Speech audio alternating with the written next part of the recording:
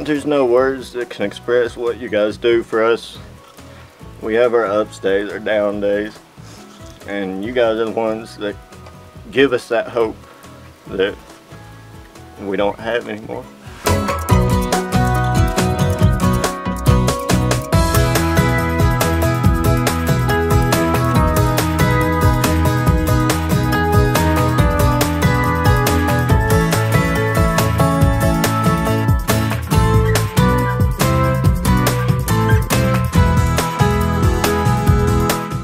Like they gave me life again, and a chance to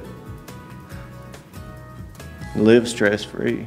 I know we stress him out all the time, and he gets headaches and all this, and I feel like he's he's gonna be way better, and we're gonna have a new start on life.